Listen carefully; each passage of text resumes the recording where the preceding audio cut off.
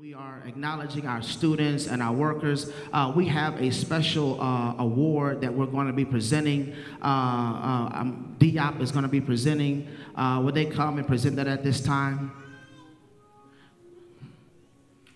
I know we have a special award. I know you're on your way. All right.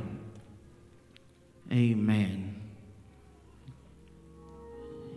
As he is coming, um, parents, please be on the lookout. In the very near future, our uh, all we're asking all parents to be at open house in September. Amen. We're asking every parent, every parent to be at open house next month. Uh, I don't have that exact date. I know it's in uh, ex- what is it?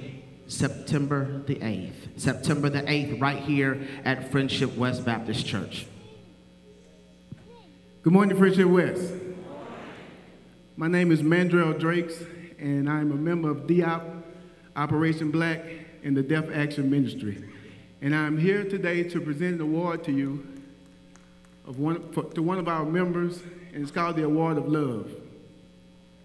Normally, I'm up here doing sign language, but today I have to speak, and I'll be speaking from my heart. So if I look nervous, I am.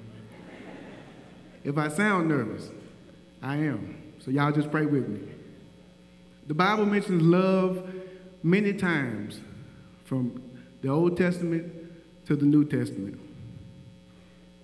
In Corinthians, it says that love is kind, love is patient, love is not boastful. But my favorite one is love never fails. God is love, and love is God. We in DIOP believe that you should give a person their flowers while they're living. And today, I don't have any flowers, but I have something worth just a little bit more and lasts just a little bit longer. Tanya, today in the presence of God, our church, our family, and friends. I want to make it official.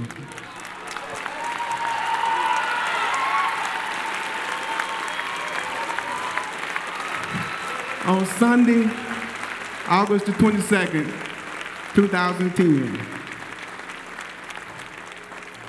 I love you more than I can explain. And I want to spend the rest of my life trying to show you better than I can tell you. So with that being said,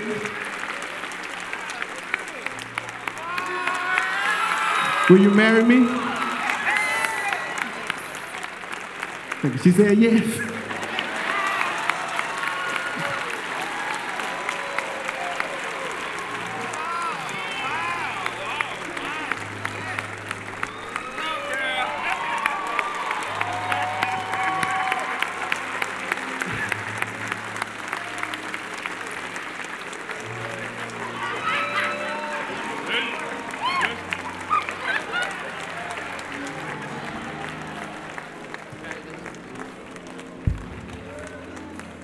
I told y'all there was a special award of love, didn't I?